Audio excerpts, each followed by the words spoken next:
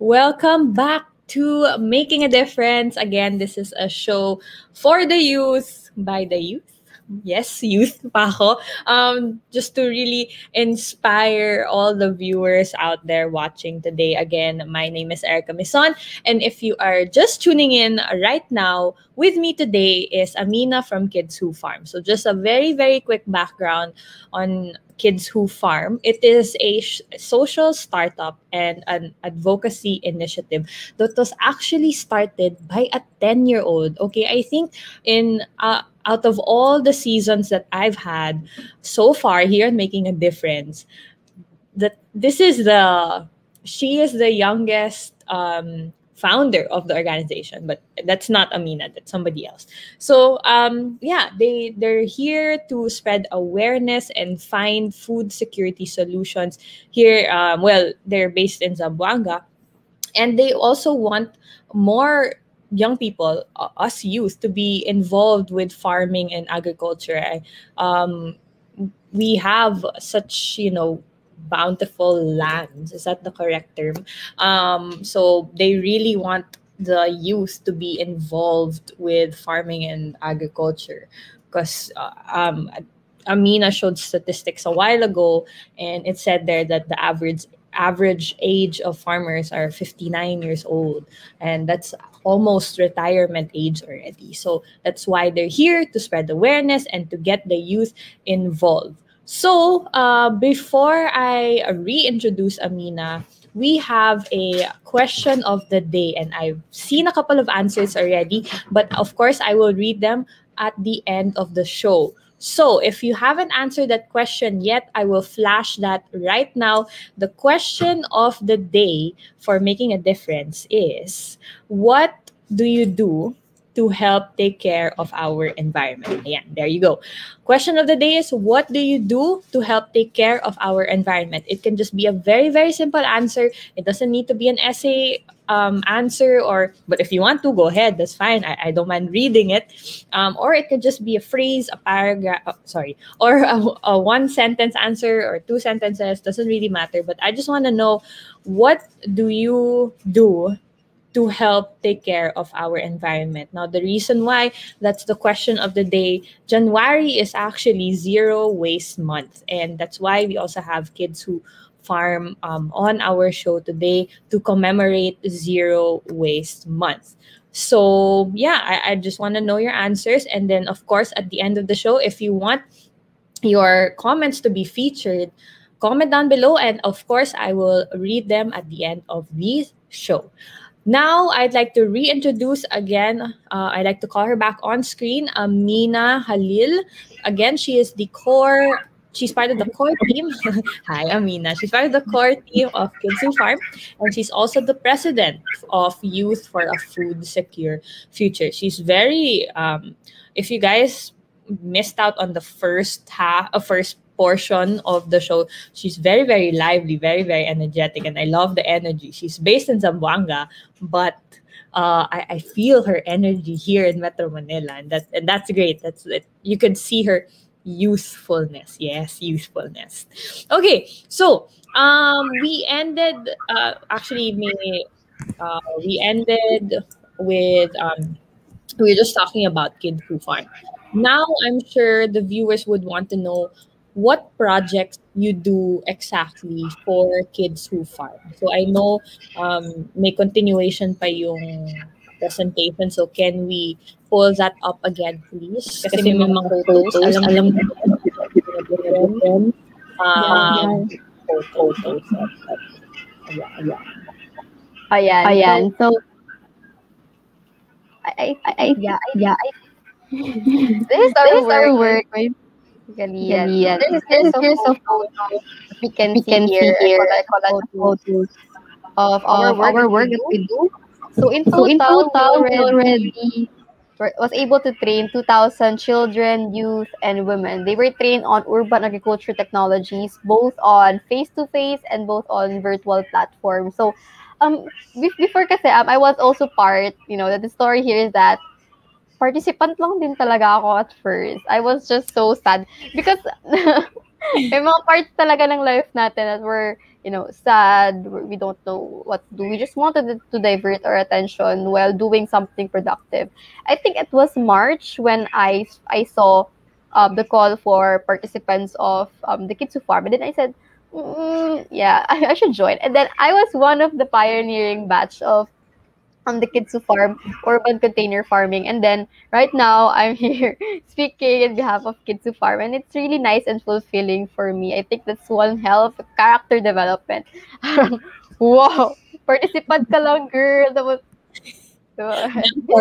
member. That that's really great development. Congratulations on that, by yes, thank you. So yeah, as you can see here, um, you can see a, a, a collage of photos. So as you may see um, here, there's like a photo, some photos of Raina, our founder, giving talks to the kids. Yeah, I think it's on like the second photo, like there. Um, she, she's really an amazing kid. Like if you talk to her, she's full of.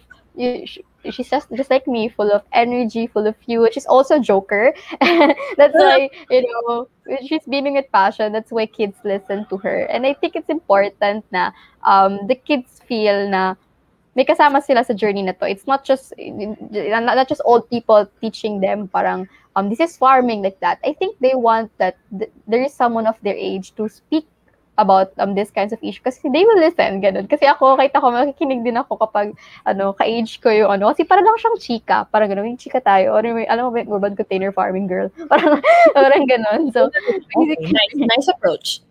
Yeah, because people tend to don't listen kapag ano, pag sabihin mag, mag-seminar tayo, they're just going to go there for the food. Nah. That's right. So, right now, we believe that we make farming fun and easy so that people will go. And then, right, again, we already trained 2,000 children, youth, and women on urban urban agriculture technologies, and the family is growing. So, next slide. Mm-hmm. Okay, so now let's talk about statistics. We all know that sa COVID, ito yung isa sa mga naging problems natin. Mm-hmm. I think yung um the hunger, you know, um, there are a lot of people losing their jobs, a lot of people um, not getting enough food, especially yung mga um, um, people in the lower socioeconomic um, spectrum. They're have really having a hard time um, having um, finding food, especially yung dun sa ano, enhanced community quarantine times pa natin because they parang you know, they're they're forced to leave their jobs. And then kapag walang trabaho, no work, no pay. Unlike um people, ano, even if they stay home, they can still have their food. They have cars. But you know what? The people in the lower socioeconomic spectrum, they're the ones really vastly um, affected because the clock is ticking for the hungry children in the Philippines. So, um, people are saying na patay na sa gutom dito COVID-19. That's why a lot of protesters, you know, a lot of young, uh, hung, hungry people are going to the streets asking for money, asking for food, kasi they, they really cannot do anything about it. And based on statistics, um, 5.2 million Filipino families experience involuntary hunger at least at least once in the past three months, and 14.2 million um, children are undernourished and also, 13.0 million families or Filipinos are food insecure Filipinos. That's because um, people, you know, you know, you know, hunger is really a, a problem in the Philippines, and I think it's about time for us to actually don't um, grow our own food to to to you know to um, um, address this issue, the food insecurity issues that we have in the Philippines. And I think like growing your own food in the backyard, growing your own food in your own garden, in idle spaces, that could really help. Because me personally, I've been growing my, own food right now. I started to grow tomatoes, uh, some, some petchay, and instead of going out and just finding, we just wanted to like, pick it up. like, you know, kasi parang, I mean, we make it more accessible to us. Kasi, paano pag may pera tayo, pero wala tayong mabilhan? Yun yung, yun yung pinakamalaking problem ngayon. May, may pambili, pero walang mabibili. Yeah, so it's about time for us to actually grow our own food, right? So next slide, please. Okay, so the next question that we have to ask ourselves is that, are we close to our source of food? Okay, going back to the first slide that that, that I, that I said that um, food doesn't come from, our food doesn't come from a box. But when we ask kids kung saan nga magaling, Jamal, paata! minsan may isa-site pa nga sila na specific mall, ganon. Yung biggest mall dito sa amin, parang, din siya, fruit, ganon. Hindi ko sabihin. ganon. Parang, ang cute niya naman. But they're not wrong. Yeah. because Yeah, they're not- they're not wrong. So yeah, this photo was taken from one of uh, the local malls in in in Zamboanga City. And then um, the question we have to ask ourselves is: Are we close to our source of food? Do we have to go to the grocery stores to buy our vegetables? Do we have to go to our um, to the market to buy spices? What if we can just actually source them out in our backyards, right? Yes. next. Again, sustainability talaga. Yeah, it's sustainability. It's it's just the sustainability for advocacies, but also sustainability as a family in terms of the source of food. So, yeah. So next slide. Okay, so as you can see, there's like a map there. Yeah, that's the that's Yes. like one part of Zamboanga City, and those Okay. those green flags, not red flags. Oh, beware of red red flags. You know, ah. Girl, you're red flags. Yeah, the only red flag I want is from the Chickenjoy. the. So those are like uh, the, the blue green flags. They're um um the areas that where we have the ano, com- um where we envision to have the um the food network. So um our vision or for the future is that we want to have a youth led hyper local you know hyper local food network. So what is actually a local hyper uh, wait no uh hyper local food network. So um it is a network of um food of it is a food network consisting of actual people. Like it is like the combination of you know educating people and empowering people you know with a powerful set of tools in terms of farming. That turns ordinary cost uh, consumers into actually educated producers right? So we also um in, in doing this we also have um, different mechanisms. We, we don't just want them to learn about urban container farming. We don't just want to learn them more uh, we don't just want them to plant because we also want them to um, know how to actually monetize this produce. So next slide. Hmm. Ayan. So one of our um one of our um programs or one of the projects is this is actually in bar- one of the barangays in Barangay Tulungatung, Zamboanga City. It is a relocation site for Zamboanga siege victims. So if you heard of the Zamboanga siege, um, it was way back in 2013 and people were displaced. So with this, um, we don't just want to um, inject farming into into them, into their communities, but we also want to empower them. So sa farm na to, they're already the ones managing it. You see, right now they're doing a community hydroponics where um, they grow their, you know, lettuce on water. That's really amazing, right? Like a new one. And then when I when I visited that area, it was the first time I visited the area. I think around, I think that was last month in December. And then they were so um, beaming with passion when when when they were taught about this uh, the the hydroponics and then there were there were a lot of a lot of questions. And i think one important aspect of doing community project is that we don't make them feel that they are beneficiaries but we want them to make them feel that they are partners. They're the owners of this project right? Because people have been telling you know ang beneficiaries namin ganito. Here are beneficiaries. But you know this is what reason why projects don't prosper. Kasi we label them as beneficiaries instead of labeling them as partners and owners of their own projects. Okay. Yeah. Makes sense. Yeah. I So next, yeah, another picture of our community hydroponics in the Atiwa farm. Yan. Yun si ate. Yan. Okay. Okay, next slide. Okay, so this is uh, another one. Uh, this one is not a community food garden, but it's actually a school microfarm project in um, Don Pablo Lorenzo Memorial High School. It is one of like um, one of the biggest um, high schools um, high school in, in the city. And then we all know the Gulayan sa Paaralan program, right? We all know that. And then you know schools schools really compete for that because parang pagandahan tayo ng gardens, ganun. and then with with the presence of that kind of program na pinupush ng DepEd, we wanted to penetrate, we wanted to take advantage of that. And then here it is, um, the school microfarm project. So, ito yung signing, parang I think the agreement that um, actually meron na siya ngayon. It's being established since last year, and then it's still thri- It's still thriving, and I hopefully it will continue continuously thrive until the next years. Ang, ang mahirap lang doon is that because of COVID, parang the students don't get to actually go there to do their own farming like that because you know, personally me, uh, when I was high school, we also had gulayan sa paaralan. I was planting talongs. Wow. okay, okay.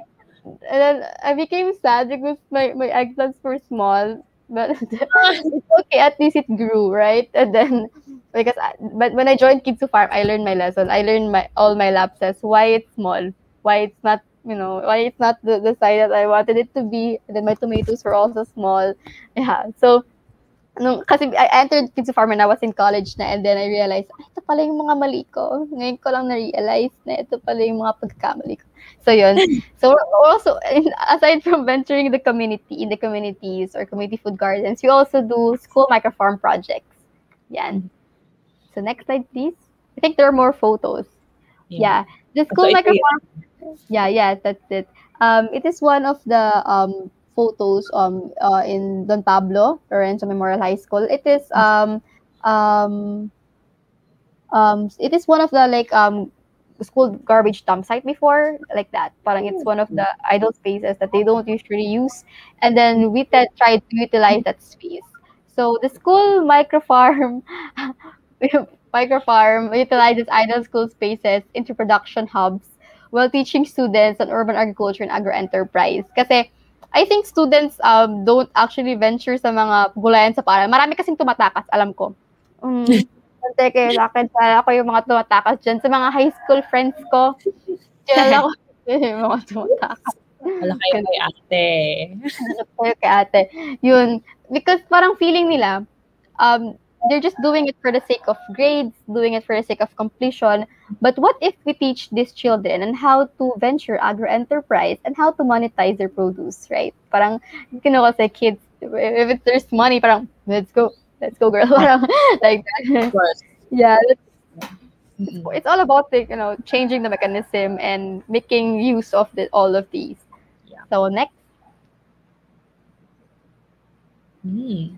Okay, yeah, another one yeah, it's a school microfarm project also in um in it's another school microfarm project where um the hydroponics lettuce is being ano used. We actually use um uh, you know mga gamit na styro styrofoam.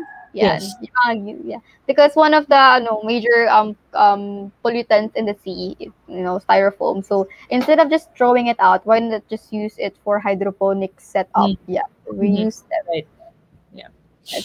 Next slide. Yeah. So, um, in the school microfarm learning site, what we want to inject or the components are the following: sustainable agriculture, urban farming, agro-enterprise, and financial literacy. J- just like what I'm saying a while ago, parang pag walang pera, hindi kami pupunta. Parang, parang pag walang pagkain, yeah. time, hindi kami pupunta. Yung mga ganun. Parang it's about time for us to teach these children how to become financial literate while teaching them urban farming. Yan. Yes at an early age, kailangan na yan. Yeah. Know already. yeah, it, it's about time for us to make ipon. yes, know. you have to make at an early age as much as possible. When you start getting money, save, save, save. Very, very important. Take it from me. I'll start selling lettuce. Yeah. All right. In this in this photo, you can see our our newest member of the core team, uh, Ramjan uh, Miranda. He is um one of the he is the SK chairman of one of the barangays here in Zamboanga City. So he just joined the team. So the one in the black shirt, dahil hi Ramjan. Yeah, with the cup. Yeah. Yeah, he's the one. So hi Ramjan, welcome to the team. Yun, dito ko na siya ni welcome no. yeah. So next uh, next Ayan. Uh, so also, um, we also think that the SK is uh, an important plays an important role in food security solution. Yeah, that's it. So, in Kids to Farm, we believe that partnering with the SK or the Sangguniang Kabataan is not is a vital step. Not only that they provide us with you know the support in terms of institu- institutionalizing pang twister na institutionalizing our initiatives, you know, and our projects. But they also provide us with, you know, um, the opportunity to mobilize their youth, you know, in their barangays. Kasi parang sila yung mas nakakakilala sa mga barangay nila. Sila yung mga mas nakakilala sino yung mga active members. And it's about time for us na gamitin natin yung mga energy ng mga youth na to um, sa kanilang barangay. Kasi kami, hindi namin sila kilala. Parang paano na makikilala? Pupulot lang ba kami ng tao doon?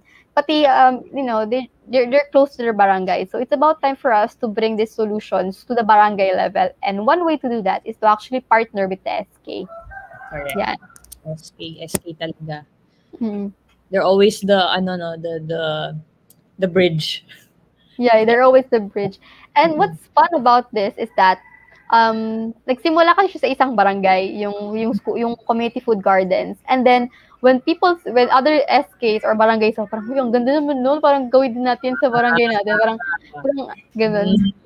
Parang they they they started to reach out and then it, it's so nice just to see the SK helping each other na parang pumunta ka sa kids farm, parang they're gonna help you like that. Ganyan. It's nice. so nice to see them empowering other barangays, not doing mm. competitions. It's it's really nice to see those kinds of collaborations and empowering. Parang that's what we need right now. Parang hindi tayo pagalingan ng barangay. Parang yeah, it, it, it's just amazing. Collaborate talaga. Yes. Yeah.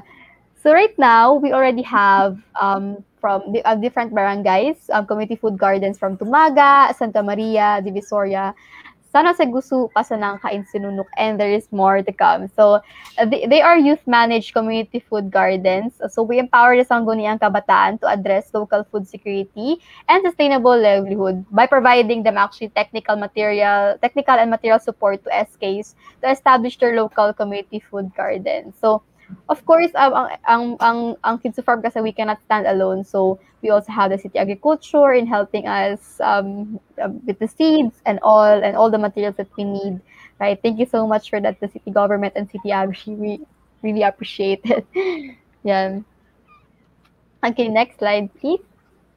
Okay, so here's our framework. So, our objective is to actually create an access to hyper local food um, through um, making the youth participate in food security solutions. So what is our mechanism? Number one, we do um, marketing strategies. We present them the um, production technologies, on you know, mga different fertilizers and stuff like that, um, and financial literacy. And then people don't want to venture kasi parang una akala nila na yung sessions namin would be more of parang um, you know, rocket science, parang, parang, parang mga the nitrogen and uh, no not. Because we want to make farming fun and easy kasi. That's why we we we, we wanted to push for um push uh, we want we present the presentation in such a way that it will be fun not only for the adults but also for the kids. You know they're really adult and child friendly presentations yeah. But anyway we we we inject puns we inject different stuff because we want to level level it off and we want to make it fun. And then the benefit is that um, we, the food security is addressed, and then there will be income opportunities for the youth and for the communities. Mm-hmm. Again. Okay. So next slide. And so this is one of our ongoing projects in mm-hmm. Santa Maria. Uh, it's a community food garden. So th- these are spaces na hindi na ginagamit and parang we feel like um what's gamitin natin yun? Ganun. So yeah. So I think there are more photos sa next slides. Yun, next slide po. Yeah. So in Santa Maria, yeah, that's in Barangay Santa Maria. So it's at the back of um, a Bulilit Center. It is 100 square meters approximately, and we have plots with mulch, sacks, and plastic containers. There are also hydroponics. And what um yung mga crops na meron doon is kangkong, zucchini, eggplant, sitaw, okra, tomato, and carrots. And also we make use of, you know, used tires, yung hindi na ginagamit, mm. ganun, and mga um, styro styrofoams and mga plastic cups and all. Yeah. So ito um the one that we saw a while ago was um land lang. Is this the one now? Is that how yeah, it looks? Parang we, we turn we turn something na hindi na ginagamit, parang garbage sites, something like that, into a thriving one. Nice, also, sa SK Divisoria, that's also happening. Parang, um, it was for, kasi I live in Divisoria. I live okay. near the garden. And then, it was it was first parang a dumping site, parang walang walang pumapansin. And then right now it's beaming with colors with all those colorful tires and such. So kudos to ano to Remjan or one of our members of the court because he's the SK chairman for this barangay and he really made this happen. Like every morning you can see um the community or the community leaders of the Visoria na parang they're they're watering it, the, the plots, and it's like so amazing, so fulfilling. You know? yeah, so Ganda, ganda. Okay. next slide, please. Yeah, and so you can see the colorful ones. That's very amazing. Okay. Okay, next Awesome. slide. Yeah. It's also in Santa Maria, the hydroponics, oh. grown lettuce. Okay. Ayan. Okay. Next slide. Yeah. And then right now, they can now sell lettuce for sale. And that's very different- amazing. Fresh Yeah. na fresh yan. Yeah, and then they, they know that this is actually um like fresh grown and then work- you know grown by the locals, so that means that it's safe to eat and all. Yes. Ayan. So next slide po. Mhm. Okay, so right now we want you to imagine what if the youth became at the uh, was at the forefront of food security solutions in the time of pandemic, right? So parang um think I think that would be the last slide right now, our last slide, and this is why you know in Kids to Farm we aim to make farming fun and easy because we want the youth to become at the forefront of the food security problems in the time of pandemic. So yeah, Right. thank you so much for listening to me, and I think we have the last slide. Yeah, and then There you go. Ayan, thank you so much, Amina, for sharing your projects. Sobrang amazing, ganda ng mga projects. And kudos uh, to the SK in Zamboanga City, to all the um, SK, actually the SK Federation itself. Congratulations. Uh, and also, Kids Who Farm. You've, you've done a lot to, to help with food security. If you have any questions for Amina about Kids Who Farm, what she does, or anything at all, please comment them down below and we are gonna get Amina to answer your questions at the next segment, which we are gonna get to in a couple of minutes. We're gonna go on break, very, very quick break. And when we come back, we are gonna continue to talk to Amina. So we'll see you in a bit.